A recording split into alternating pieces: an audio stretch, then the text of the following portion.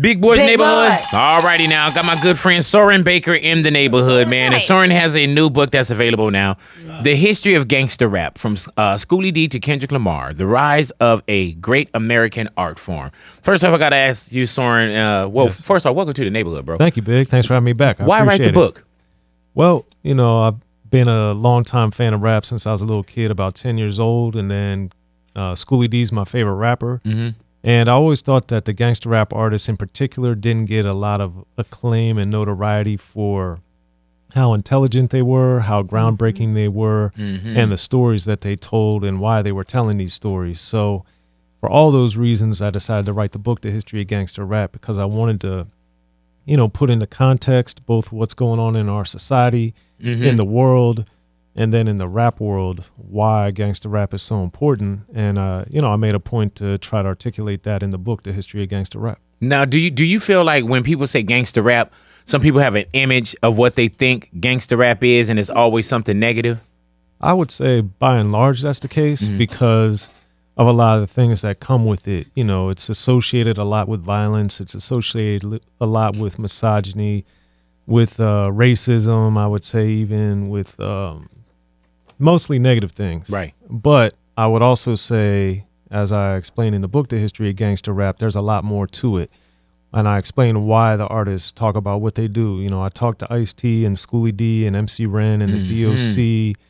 All you know, I talked to more than 30 artists for the book. DJ Quik, MC8, Big Trade E, et cetera, et cetera, on down the line as to why they make the music that they did and why they continue making it. And unfortunately, a lot of the stuff that Schoolly D's, the Ice T's, the Eazy-E's, the NWAs, the Ice Cubes of the world talked about in the 80s still is relevant today, Very unfortunately much so. unfortunately.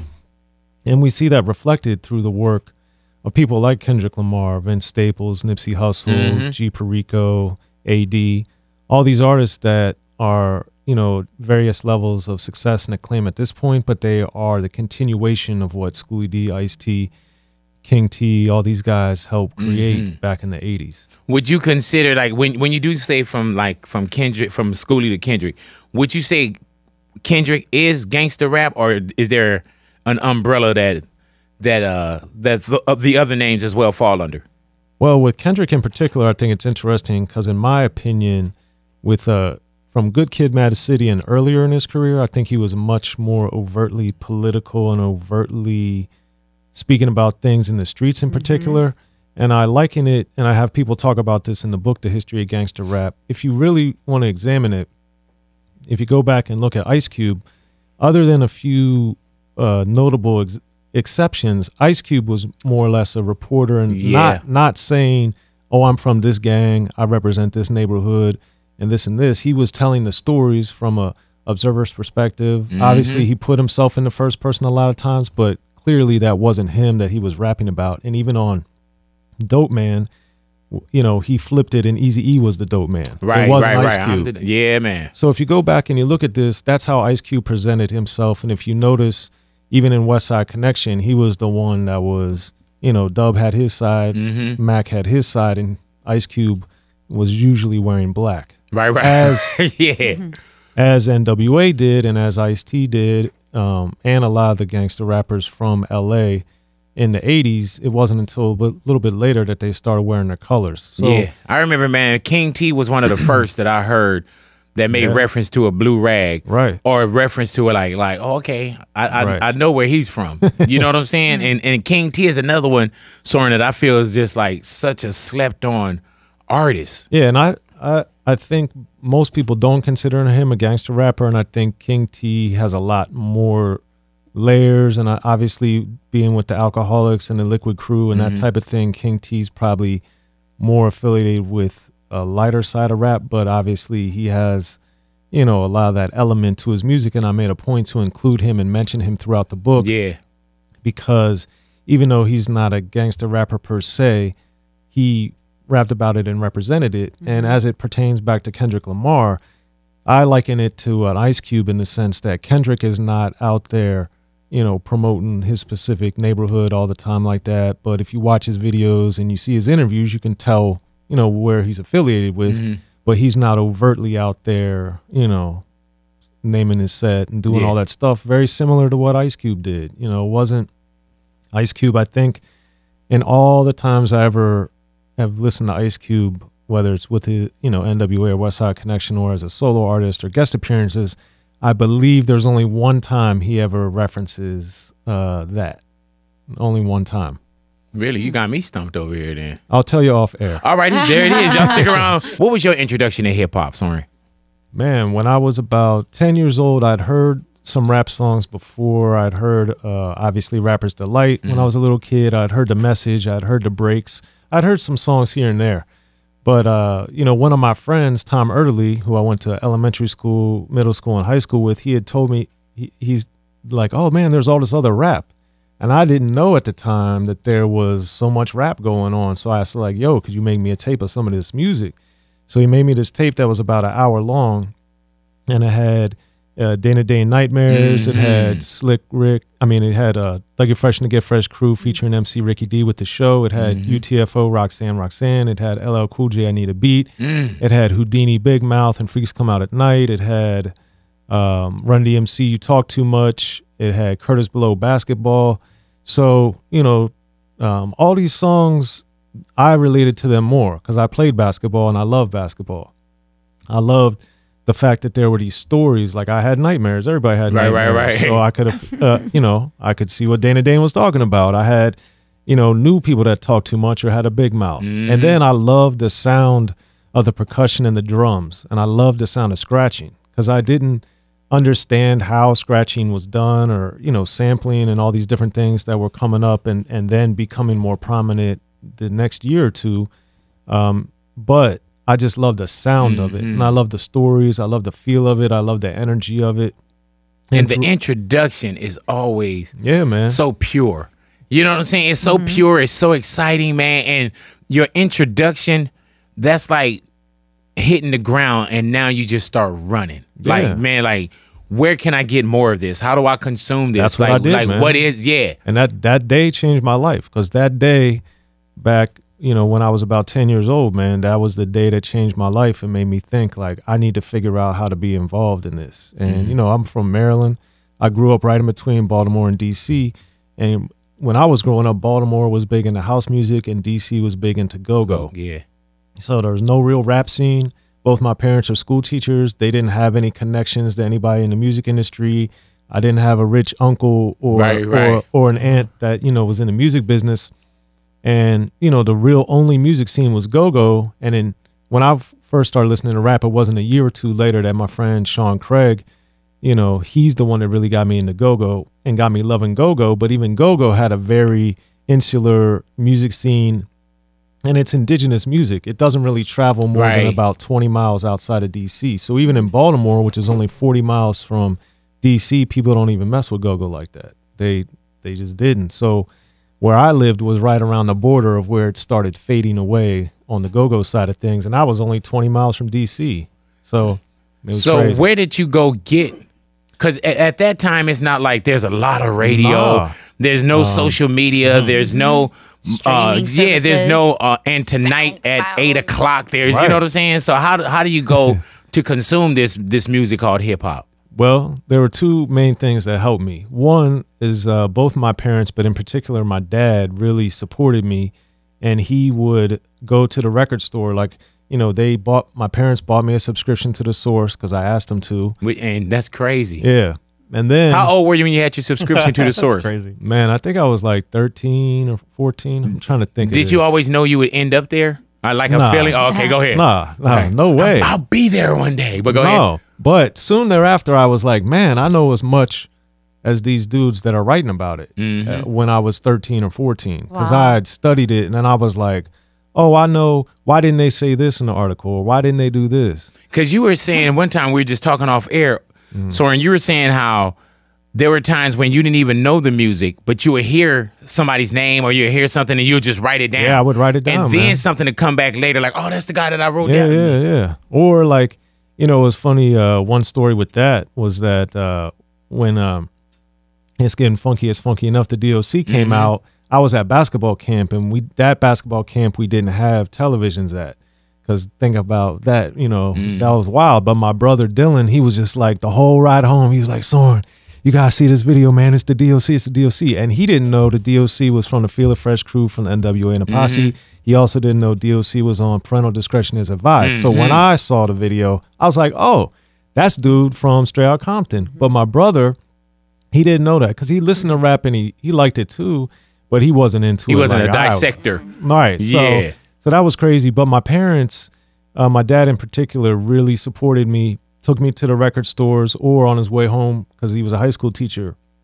You know, if I gave my allowance money or whatever it was, or my money for cutting the grass in the neighborhood or, you know, washing cars or whatever I was doing as a little kid, you know, I'd be like, hey, dad, can you give me the new King T? Hey, dad, can you give me the Above the Law? Hey, dad, Schoolly D is out. Can you buy it? And he would go in the record store so often that they started giving him posters and they started giving him flats because, you know, they could tell like, and whenever I would go in there, they're like, "Oh, you're this dude's son." Yeah. You're the reason he's buying all of this. So that was huge. But then also because of being right in between Baltimore and DC, I had the advantage of, you know, Baltimore and DC, especially DC is known as being a chocolate city. When I was growing up, the population was like 99% black by the census. So, you know, we had uh, Baltimore and DC both with AM and FM played rap, you know, a little bit. So between five stations, I could listen to rap almost every day Right. for maybe an hour. And I would tape, you know, just like people talk about, you know, here, they would tape K Day back in the day. Yeah. So I would literally set up. But the thing I'll never forget, man, when uh, it was on WBAL in Baltimore, they were playing You Got to Chill by EPMD, and that was the first time I'd heard it. And it was on AM, and it was a thunderstorm. So when the light or the thunder went, the radio station went out. So I knew the whole song except like these three, three seconds, Because you're recording that too. Yeah. Damn. and it just shut off. Yes, Soren, yes. um, how do you go from first off with your love of hip hop? Mm-hmm. The first thing people try to do is, especially back then, you try to become a rapper. Mm-hmm. Did you ever have that bug? Nah, man. Um, Ah. The reason why is because, you know, I got into it when I was 10, and by the time I was like, I need to figure out how to be involved in this for real, I was 12, 13 at the, you know, 12, 13. And at that point, I didn't understand, and I didn't understand or appreciate the fact that the dudes I was listening to, the Kool Moe Dee's, the LL Cool J's, the Big Daddy Kanes at this era, the Dana Danes, the Ice T's, the Schoolly D's, you know, I didn't mm. understand they were five, ten years older than me at least. So I didn't understand the way that they could write all that stuff was because they were a lot older than Right. me. It didn't register from for some reason. It just didn't connect with me that okay, Soren, if you work at it and practice, you You'll can get, into there. it. Yeah. I just again I didn't have any music around me other than my dad listening to music, so I didn't have that wasn't something that um, resonated with me as a even a possibility. If it was that, if it would have, I would have tried to do it. For How do you fast forward from loving hip hop and consuming it to starting to write? Well, Like, where do you first go that you say, you know, I'm I'm I'm a writer? Well, I wanted, I knew that, you know, growing up in Gambrills, Maryland, you know, was a great place to grow up and, and very nice. But at the same time, I also realized through the music I was listening to, through reading the newspaper, the Washington Post and the Baltimore Sun in particular, and watching, you know, the television, that there was so much going on in the world that interested me. And I saw that the reporters were there. You know, they were the ones interviewing Schoolly D. They were the ones at, you know, the state capitol interviewing the president. You know, they were the ones interviewing the basketball players that I liked. So I was like, oh, well, that's something I could do. And then my dad was an English teacher. Oh. So he was like, um, once I showed an interest in that, especially when I was selecting where I was going to go for college, I tried to go to a place that had a communications program and where I would be able to learn journalism or study it directly or indirectly. So that's how I chose Xavier University in Cincinnati because they had a communications program. They also had a business program and they had a student newspaper. So I was going to try to do all these three things at the same time. So I ended up minoring in business, getting my major in communications, and starting my freshman year, I started working on the newspaper staff. And how, how do how do you get to where it's not even the respected level, but when you get to you know the source magazines of the world? Well, the source in particular was crazy. I'd written for, in Cincinnati a publication called Everybody's News, which was essentially the equivalent to like a LA Weekly. Mm-hmm. And I'd done a feature on a DJ named DJ ICD, who was a big DJ in Cincinnati. Shout out to ICD. And when he read my article, he was like, "Man, this is a really good article. I know it's on me, but like how you wrote it is really good." Yeah. I was like, "Oh, thanks, man." He was like, "Yo, you ever you ever thought about writing for the Source?" And I was like, "Of course, man. I love to write for the Source." He goes, "Yo, my man Usman Sam, Oofs. you know he he's gonna be out here. You should come with me to the record store where he's gonna be doing some in store promo." And I was like, "For real?" He's like, "Yeah, man. Just come up there and meet him." And so I did what I normally did, which is I photocopied a gang of my articles and I put them in a manila folder. And I, ICD introduced me to Oos. Oos was like, oh, cool. And then I'd showed him all my publications. At this point, this is actually where I first met you way back in the day. I'd interviewed The Pharcyde. Mm-hmm. Wow. I'd interviewed um, the Bush Babees. I'd interviewed the Fugees.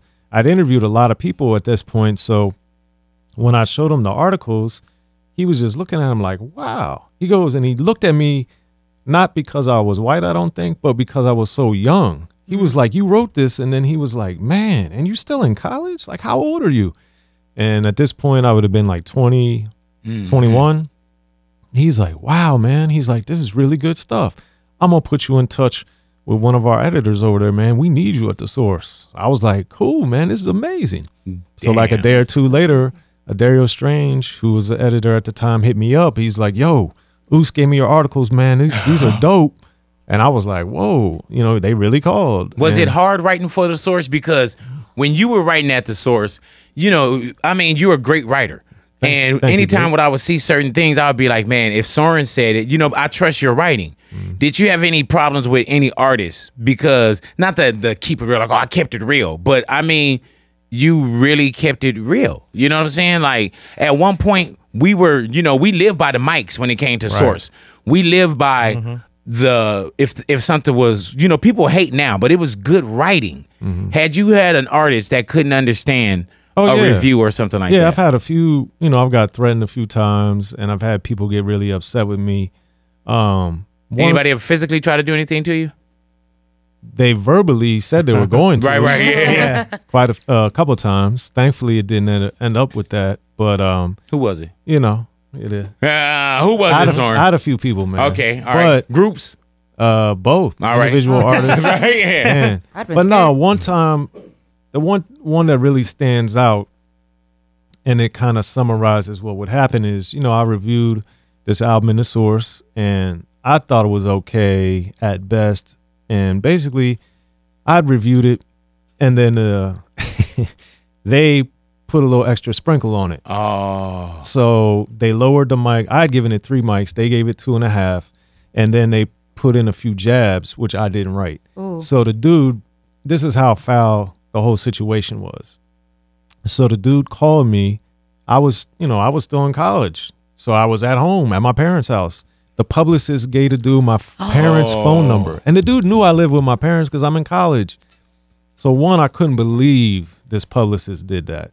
I said, you know, if dude's got a beef, you call him with on the line, right? Not at my parents' house. hmm But beyond that, the dude was all on the phone yelling at me or whatever. And I said, Look, man, he's like, You don't even know me or my music.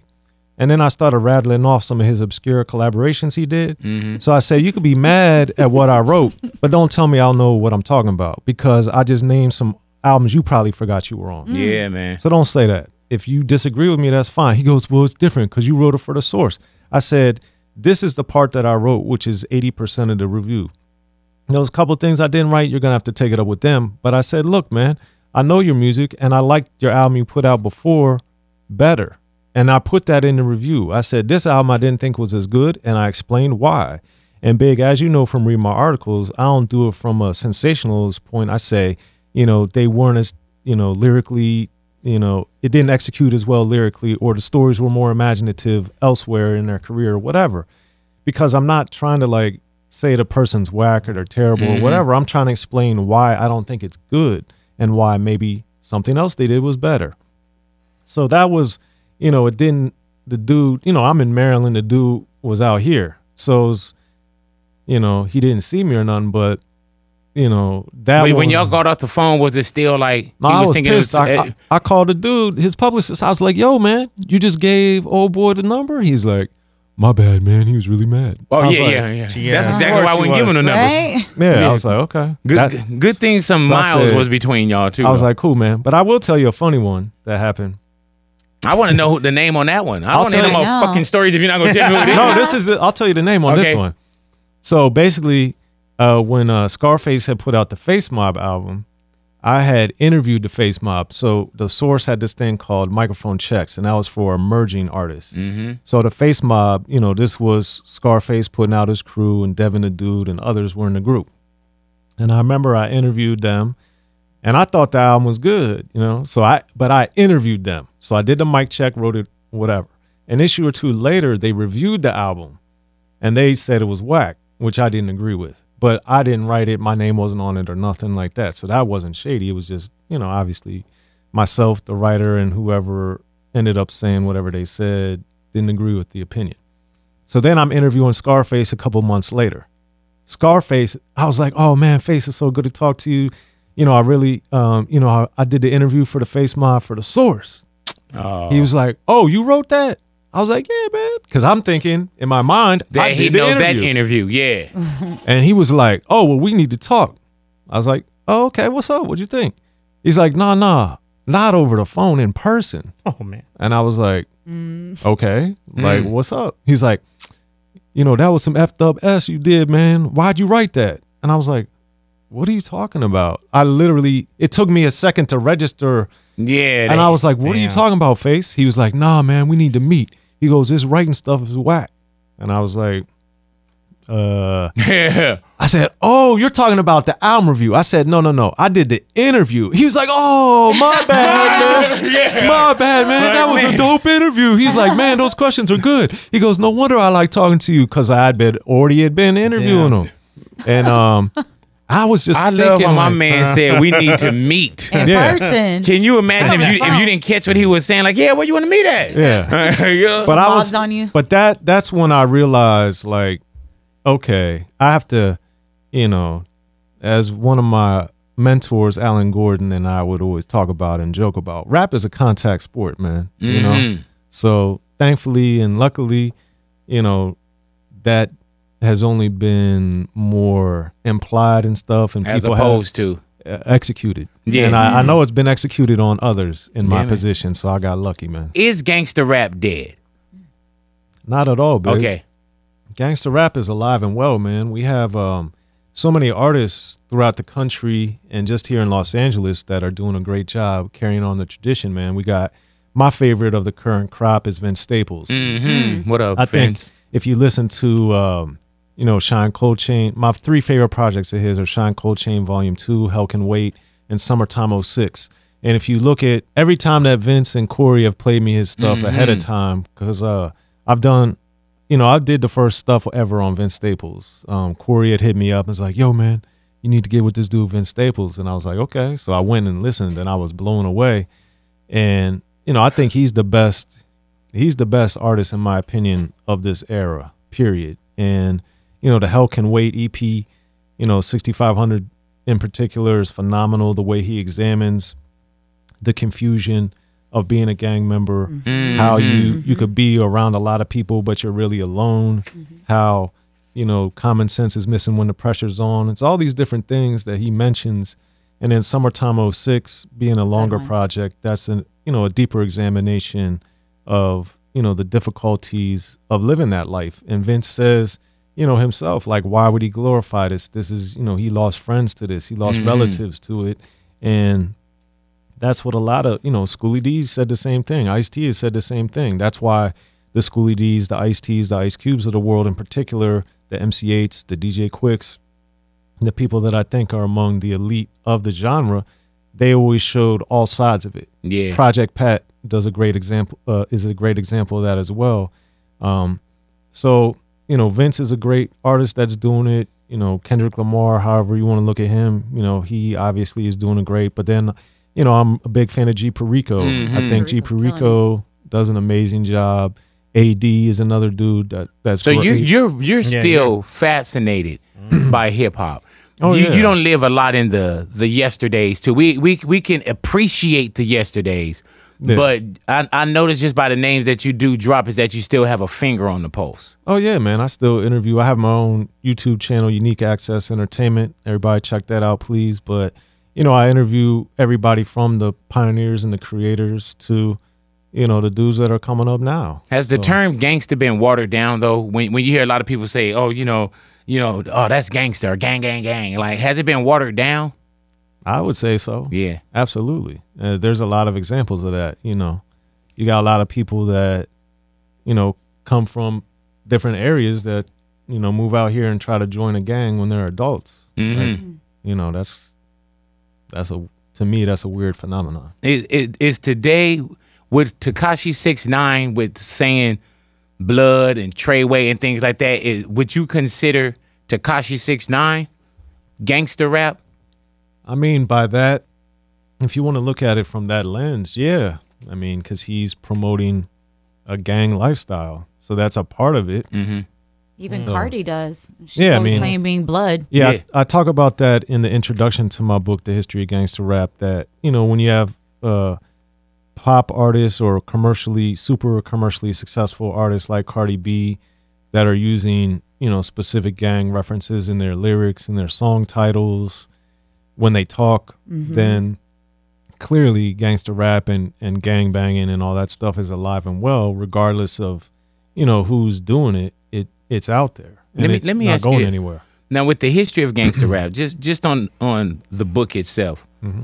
when you go to do a book like this, of course, there's there's a lot of history, there's a lot of fact checking. Mm-hmm. What is inside of this book from from page from from the cover to cover? What did you want to get in between cover to cover as far as pages?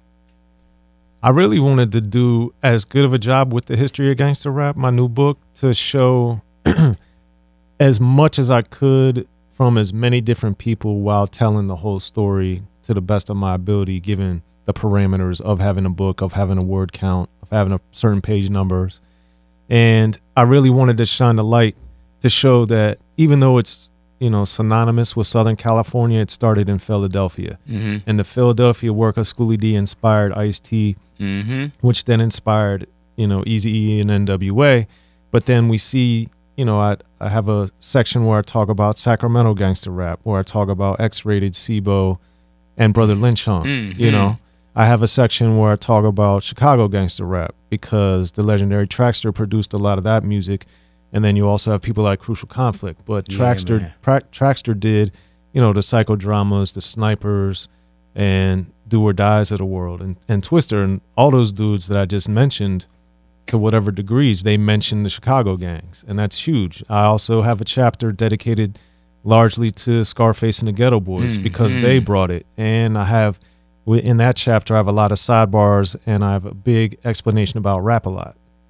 Rap a Lot obviously prominently known for Scarface and the Geto Boys, but they also had Do or Die. They Mhm. also had CJ Mac at the time going as Mad CJ Mac. So there's a lot. Gangster rap is not exclusive to Southern California. Yeah. And I wanted to make a point. You know, you're looking at a page right now where I talk about Three Six Mafia. Yes, so they're sir. Memphis. And, you know, And they, then a few pages over, we got Master P and No Yeah. Limit. Like, yeah, so I didn't want to just focus on the West Coast artists and the Southern California artists because that's not the whole story. I wanted to bring in a lot. So I interviewed DJ Drama and talked about the Gangster Grill series Mhm. because a lot of the artists from the South, like the artists from the West Coast, in my opinion, you know, they didn't get as much light. So I wanted to try within the limits of having a book of try to show, illustrate, document, and articulate all of what was going on to the highest to the highest level, and that was my objective. was it hard to put the book together? And how long do you work on something like this? Is it a lifetime of work? It's, Mm-hmm. Yeah. it's really a lifetime of Yeah, work. I mean, I've been studying this since I was 10. Mhm. So, you know, it was easy. The hardest thing to do was, you know, tracking down the interviews, and then the worst thing is transcribing the interviews. The writing part is, you know, you the easiest part because, you know, how I first wrote my articles was like, I was like, man, I don't know any writers. And my dad, you know, he had written some poetry and stuff, but he would never written journalism, never reviewed an album or never interviewed an artist or never done a concert review. So I was just like, hmm, how am I going to do this? I didn't have anyone to talk to. So I was just like, what would I say to my friends if I had to tell my friend why he should listen to Schoolly D or why this Ice T album was so good or why this Too Short album, you know, is so incredible? What would I tell them? And that's how I wrote it. I was just mm-hmm. acting as if I had to do it in complete sentences and explain things more than I would have. But I was like, okay, these are the things I would tell my friend. These are the things that they would ask me. So I just crafted it that way. And now that I've, you know, had more than 3,500 articles published, you know, I've had, you know, more than a dozen books and I've written for television. You know, back when I wrote and produced for VH1 Big, I interviewed you for an Eminem program I did. So, I Oh, mean, damn, I've- I don't even remember that. yeah. For You have the- that? I do. Please send it over. Yeah, please let me know. I can Yeah, add that to yeah. my reel. that was the uh, when I interviewed you for the Ultimate Albums episode on the Marshall Mathers LP. I'd take that, man. And Yeah. also, I'm uh throughout the book here as well. There you Yeah. go. Yeah, what, page are Credit, you in? credit up. What page I or what pages? Pages. Sorry, Yeah. sorry, pages. I was about to get Forgot to that, man. Yeah, big is man. uh, big is throughout the book. Yes, Um, the history of gangster rap. You know what I'm saying? When we Yeah. put to talk about when we put this together. son. yeah. no, but but even just Yeah. sitting down with you, and like I say, bro, I, I definitely I trust your writing. You always been a one from day one. And when I look at the book as well, man, and I really I'm gonna tell you straight up, Mm. I really ha- haven't had a chance to dive into it. And I usually read the book before I have someone come in, and I've been Right, paying the book forward as well. You know I- what I'm I saw that. Yeah, Yeah. I, So I- thank you, I- thank you. I, I had to, bro. But the timeline of rap too. When I just go through and I just look at some of the things, like if I just I just open up the page to 1993, right? Mm-hmm. That's a tribe called Quest. All righty, Midnight Marauders. That's the album in 1993. Oh, uh, Onyx Slam was Mm-hmm. the single. So you got to do a lot of research on these kind of things. The president is Bill Clinton. You know what I'm mm-hmm. saying? And South Africa approved a new democratic constitution. It's crazy when you get because there's some people that's going to pick this up and they weren't here. Mm-hmm. Right. And it's almost like you get a chance to, you know, to to study. You get a chance to read. And I feel like sometimes we get in to something now and we try to erase what was a yesterday. Right. Or do you you whatever you're doing right now makes the most sense and you don't understand where a lot of things came from. And I wish that artists would take artists, producer, whoever it is Mm-hmm. that's getting into this, I wish they would take the time to learn. Well, I'm accepting well. A and R positions right now, big. Are- are you? A and R and uh, you know, writer, producer, whatever you need. Let me know. Let, me know. But let me tell you, man, like no, and and I'm so glad, Soren, that you did write this book because I've been a fan of hip hop. You know what I'm saying? And when you fast forward to 2018, you do get, get some people that say, "Oh, well, you don't know hip hop." I'm like, "Motherfucker, I know hip hop. Right. I would talk you to fucking death That's why you were on hip hop. You know what I'm saying? So I just I just hope that people do get a chance to pick this book up. If you know it and you remember it, enjoy it. If not, Mm-hmm. man, pick it up. And just just just great history, man. You know, and not history like a history book where you're bored by it. Well, no, I mean where you really want to turn the page. Well, that's why I constructed it constructed the book, The History of Gangster Rap, the way I did, because what I wanted to do was put into context what I'm about to talk about.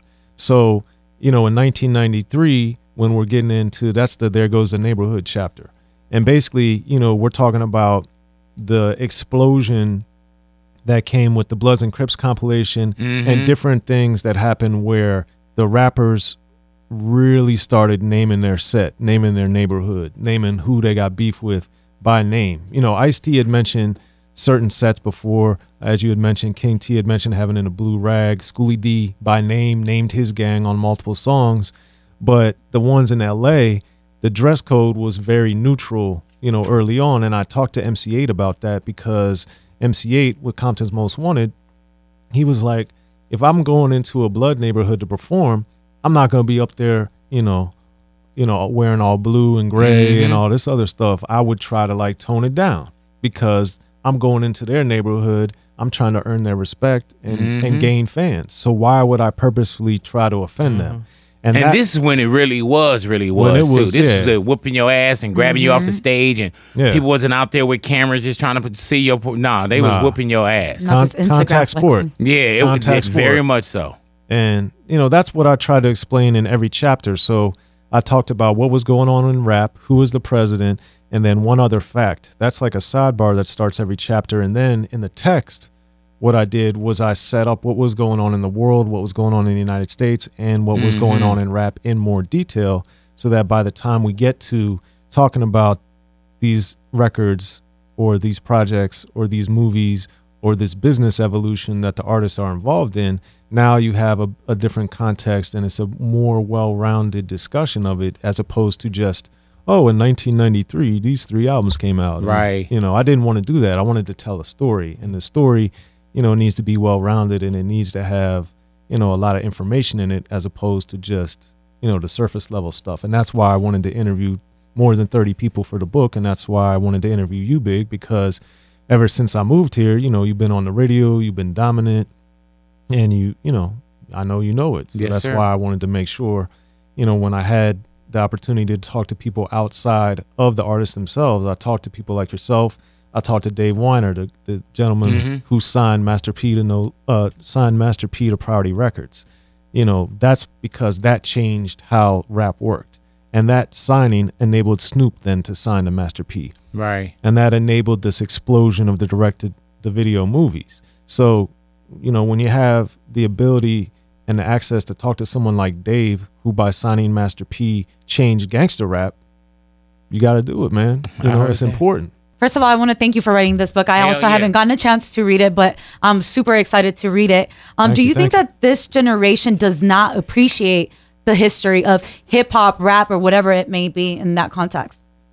I do. I, I do believe the younger generation would do itself a service to learn things because that's one thing that DJ Quik and I talked about in the book. And DJ Quik basically was explaining to me that part of the reason that they did what they did was indirectly and directly was to, you know, these are cautionary tales. Mm-hmm. You know, DJ Quik, when he wrote Just Like Compton, he rapped about traveling through the Yeah, man. traveling through the country and seeing the spread of gangs in the Denvers of the Yeah. world, in the Missouris, in the Texases, in the mm-hmm. Northern St. Louis, California. just like Yeah. Compton. Mm-hmm. And when you have that, you know, if you have to look the positives and negatives that come with that. And DJ Quik all was telling me, and it's in the book, The History of Gangster Rap. Like I was doing this to try to tell people, like you don't need to do that. You know, these are, you know, DJ Quik shows the whole side of the story. You know, people get killed, people come up at you. You know, people get addicted to drugs. People get, you know, they lose their family, they lose their job this has been a, a constant theme if you really listen to gangster rap and what they're saying. People get sidetracked by the profanity or they, they called a woman out their name or this or that. But what's the story they're telling? What's the bigger story? Like when you go, you know, people compare like, oh, well, in a movie, we don't hold the people to the same standards. Well, in the movie, we look at what the story is. We don't Mm-hmm. we don't always say like, "Oh man, they way they beat up the women in the movie was so terrible." They're like, "No, did you see how the woman got tricked and this and that and this and that and look at what happened and this is how she fell down." Well, if you listen to gangster rap, they're doing the same thing. It's just a song. Mm-hmm. So, you know, it's it's very it's very important to understand these things. And one thing that I've also learned, and one of the reasons why I love rap is I've learned so much about life by listening to rap. Like I've learned not only a different world, but like different ways to approach how I think, different ways to approach business, different ways to approach relationships, both personal, professional. And, you know, if you're willing to listen, you know, that's a key thing. And you have to be willing to learn. Because if, you know, sometimes if I make a mistake, I'll be like, man, why did I make that?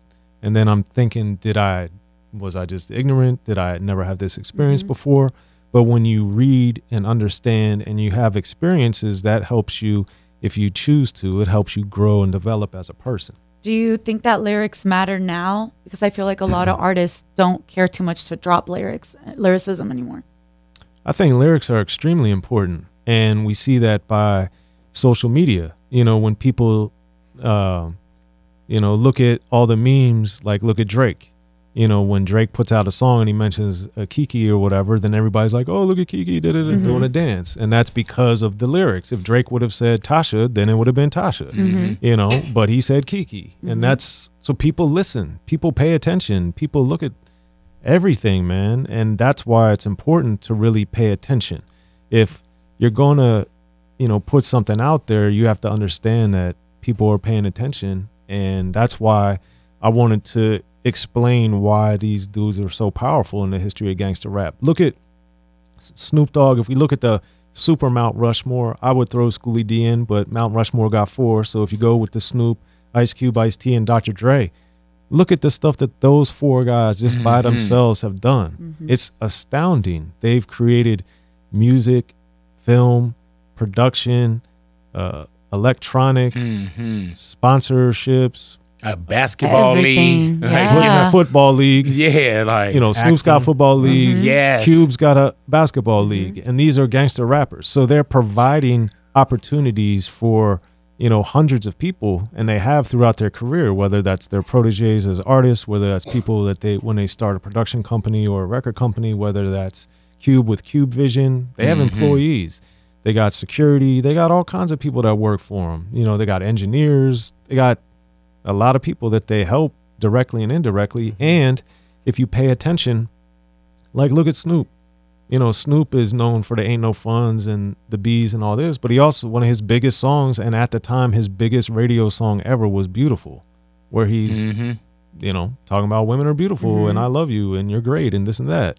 And you know, he has another song on the same album, Paid the Cost to Be the Boss, called I Believe in You, rapping to his wife about how great she is and how he mm-hmm. loves her and there's no profanity. Hi-Tek produced the song. Pharrell produced Beautiful. Beautiful. Yeah. So this is like look at their career, look at the whole of what they do. And, you know, Snoop obviously has a lot of pimp stuff and a lot of stuff you could say is misogynistic or negative or what have you. But there's also this balance if you want to mm-hmm. pay attention to and he put out a, a gospel album. right. You Full know? gospel. So that's- Yeah. And that's the evolution of the artist. And that's why it's important to look at, you know, something. And, you know, I see this on social media too, and I think it's very important. You know, to anybody that's listening or that pays attention that wants to understand this, is like we can't give up on people. Like look at Malcolm X. Mhm. If we would have gave up on him when he was Detroit Red, he would have been a drug abusing right. pimp, Pimp. Yeah. pimp, thief, and criminal who then became, you know, Malcolm X and then later El-Hajj Malik El-Shabazz. So Mhm. this, you know, things take time. you have man. to be able to evolve. And that that's what I see with uh with a few now. You know what I'm saying? And I Mm-hmm. tell people we went to Kashi six nine. I say, man, there's something in him. You know what I'm saying? We we, we got to see how this movie play out, not the movie, not the trailer. Right. And that's what I tell people. But Soren Baker, I thank you for coming Yeah. into the neighborhood, man. The history of gangster rap. Make sure you guys go ahead, y'all pick that up, man. And once again, man. Congratulations to you and, you, and the great work that you continue to do. I appreciate it, man. Thanks for having me on. There it is, man. Soren Baker in the neighborhood, big boy Big boy. neighborhood.